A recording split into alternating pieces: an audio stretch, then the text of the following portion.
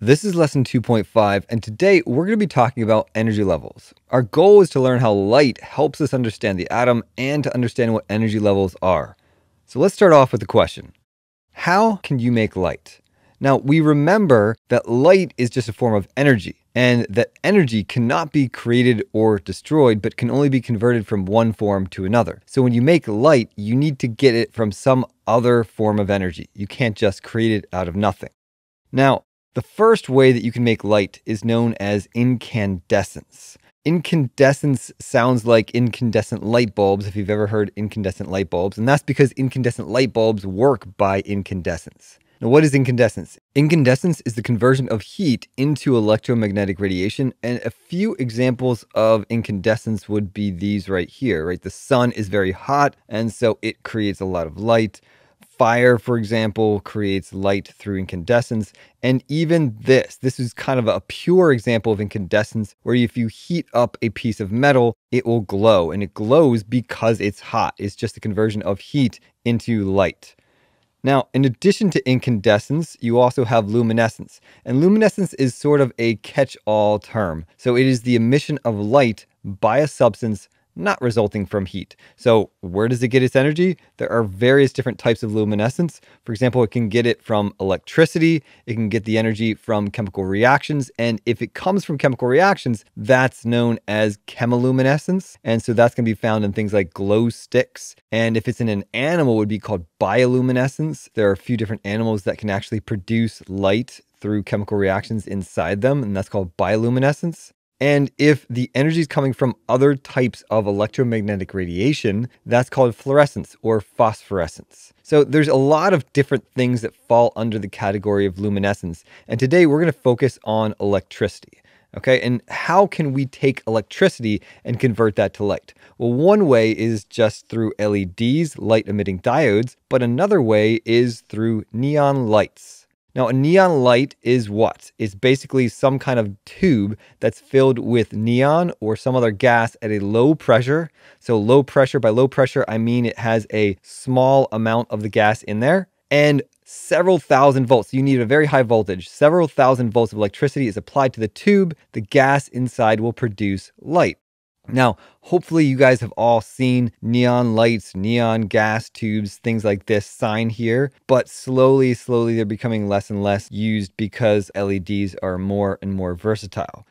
Now, the color of a neon light depends on the gas that's inside of it. You might think they're all filled with neon, but that's not right. Neon lights are named after that neon red. So when neon is in the tube, it's going to produce a very bright red color. That's neon. But if you fill it with a different gas, such as argon, it's going to make a purple light. If it's mercury, it's going to make a bright blue light. Or if it's hydrogen, it's going to be pink. And so all different gases produce different colors when they're put in the tube. Now, what is actually causing the different colors? Think about it. Where are these different colors coming from? Yeah, they're coming from the different gases, but why would a different gas produce different colors? So this question puzzles scientists for a while, and scientists did what scientists do. They tried to analyze it as much as possible. So they decided to look through a prism. And what do you think they saw? They saw, when they looked through a prism, lines of light. So if you look through a prism or a diffraction grating, you'll find lines of light. And those lines are different colors of light. Now, these aren't perfect pictures so you have the whole spectrum in the background just to give you a reference of where the different colors show up. But for example, hydrogen has these different lines. It's got a red line and a teal line, a purple line, and another purple line down here. And helium has also a red line, a yellow line, and all these fine different lines through here. You've got also a green line here, some blue lines, purple lines, all that kind of stuff. Mercury's got tons of lines in it. Okay. So this didn't really answer it. This actually made it a little bit more complex. Now, not only where are the colors coming from, but why are there lines of colors rather than just kind of a, a spectrum of colors? What is causing the lines? Now, it turns out that it actually took a mathematician to answer this. And back in 1885, Johann Balmer, who was not a scientist but a mathematician, discovered a mathematical pattern to these lines. So he specifically looked at the hydrogen lines because they were the simplest. There wasn't so many lines in the hydrogen spectrum. And he solved for that mathematical pattern and got this equation right here. So that's really interesting. Not only are there different colors, and not only are there different lines of colors, but those lines of colors fit a mathematical pattern. All right, well, what's causing this mathematical pattern? And it turns out that the answer is that atoms have different energy levels. Electrons in an atom have to be in one of those energy levels. So, how are the lines of light being produced? When electrons in an atom absorb energy, they're excited, and that means that they go to a higher energy level. It takes energy to make them go up to a higher energy level. But the electrons don't stay there. They don't like to be in the higher energy levels. So they're eventually going to come back down. When they come back down, the electrons relax. That means the electrons go down to a lower energy level. And when that happens, light is given off. And the light that is given off corresponds to the energy that is lost in the process of the electron going down in energy level. It's very, very important. The energy of the photon that is given off is exactly the same as the energy that is lost by the electron as it goes down in energy level. So when we look at these lines of light, what we're looking at is the difference in energy of the energy levels in the atom. We were literally looking at the electron going up and down these energy levels and producing very specific lines of light and very specific energies being gained or lost in the process. So, a nice way to picture this is through this diagram right here. So, we have in this picture four different energy levels. Now, atoms actually have many, many more energy levels than that, but we have pictured a simplified version. So, four different energy levels and each of these four different energy levels represents an energy that an electron in an atom is allowed to have.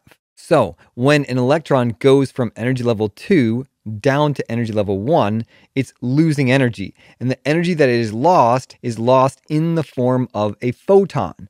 And so, if the energy difference between these two different energy levels is small, the photon that it gives off has a low amount of energy. For example, in this case, it has red light. So, red light is, in terms of visible light, on the low energy side. So, a lower frequency, lower energy type of light.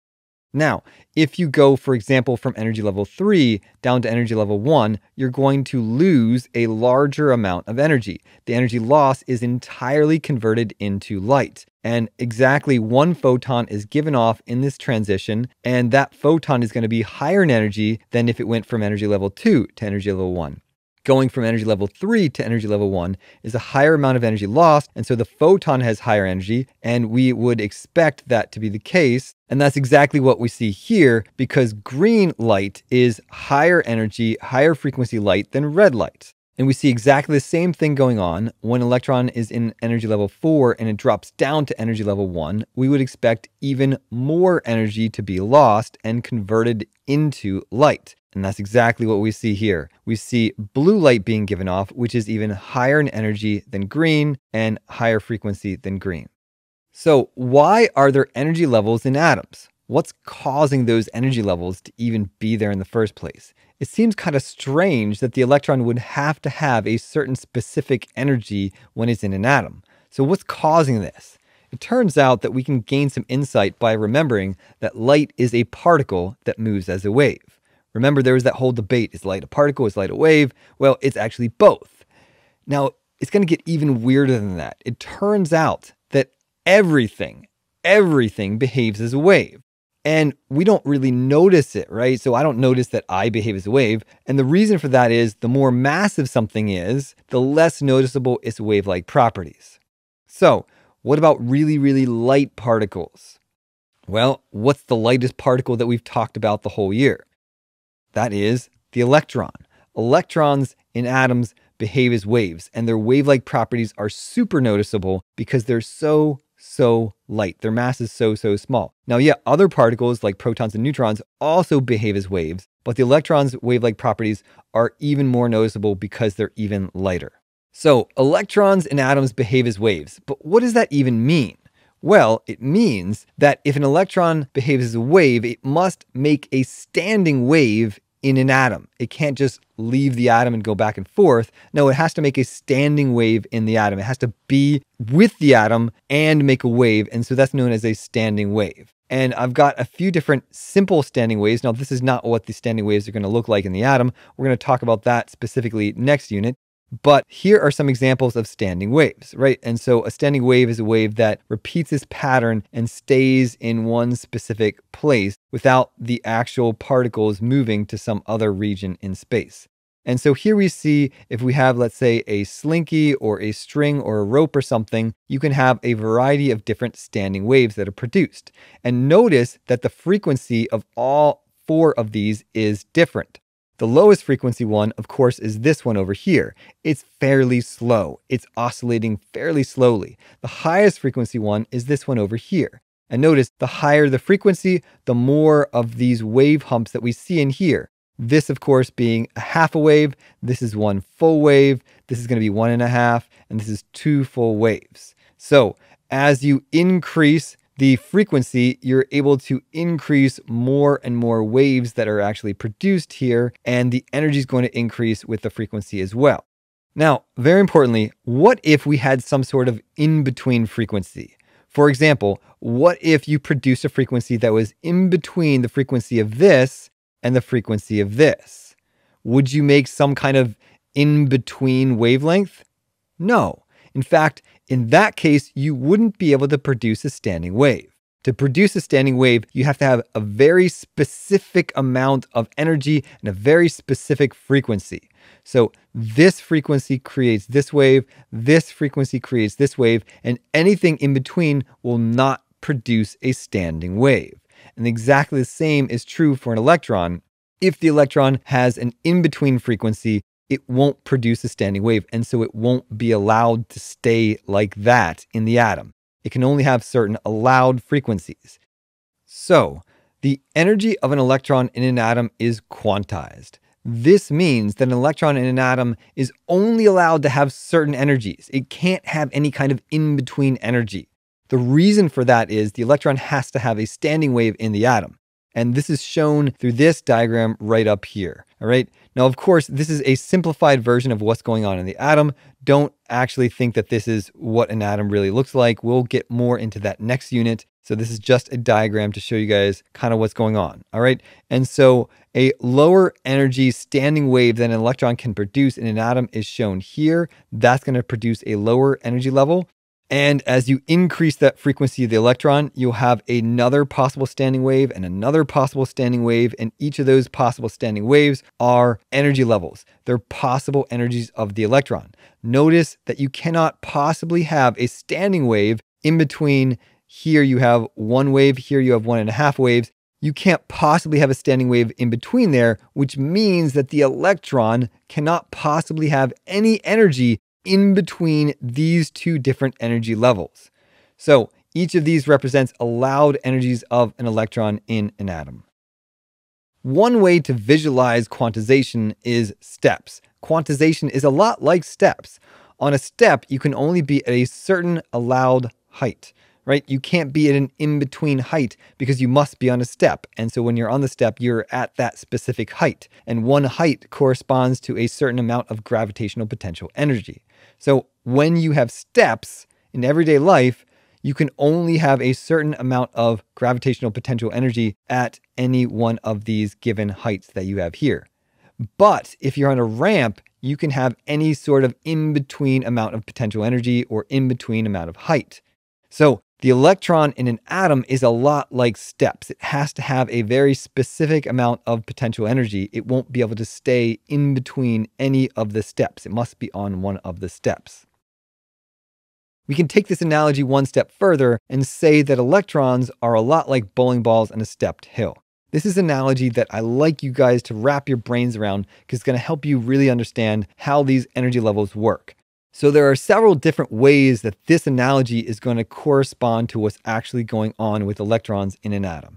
And the first way is this, that energy is quantized, right? So you can only have certain allowed energies. You can only have certain allowed positions for these bowling balls. It must be on one of the steps. Secondly, electrons want to always go down in energy level. They want to go as low as possible that they can. They want to get to the lowest possible energy level where they'll fit. And when an electron goes down in energy level, it's going to give off energy. So if a bowling ball goes down a step, will you notice it? Yes, it's going to make a lot of sound, right? And so electrons are similar in that when they go down in energy level, they're going to give off that energy in the form of light. Also, energy levels have a limited amount of space. For most atoms, you can't take all of the electrons and fit them all onto one single energy level, right? So each energy level has a certain amount of electrons that it will hold. Last of all, you can cause an electron to go up in energy level if you add energy. And you can add energy in the form of electricity, in the form of heat, and a lot of other ways. Same thing for bowling balls. We can get them to go up to a higher step, but in order to do that, you're going to have to give them energy. You're going to have to pick them up and move them higher. So electrons are a lot like these bowling balls on a stepped hill. And I'd like you to remember these four things about that. So let's go on and go back to this diagram that I showed you guys before, and let's talk about it because it's so important. Right here at the top, if you have an electron at the top energy level and the electron comes down in energy level all the way down to the lowest possible energy level, it's going to give off light, and the light that it gives off is going to correspond to the energy lost by the electron in that process. In the same way, you can also cause electrons to go up in energy level. So electrons can also go up in energy level by absorbing energy. One way they can absorb energy is by absorbing light energy. And so an electron can go from energy level 1 up to energy level 2 if it absorbs a photon corresponding to the energy difference of those energy levels. It can go up from energy level 1 all the way up to energy level 4 if it absorbs a photon that corresponds to this energy that it needs to go up that high. Last of all, let's go back to the hydrogen spectrum. We remember that hydrogen has a fairly simple spectrum with a red line, a teal line, and a couple different purple lines. It's so simple that a mathematician was able to find a mathematical pattern for the energy of each of those lines, which is fairly interesting that we can now take that simple equation for the energy of those lines and determine what exactly are hydrogen's energy levels. And the equation is this. So the energy of all of the different energy levels in hydrogen are as follows. So this is the energy, this is some constant right here, and the energy is in joules, and N stands for the energy level number. So it's simply an amount of energy divided by N squared, where N is the energy level number. N equals 1 is the lowest energy level, and N equals 2 is the next, N equals 3 is the next, N equals 4 is the next, etc., etc. And so there are a bunch of different energy levels in hydrogen that all follow this equation right here. All right, stay curious. See you guys. Have a great rest of your day.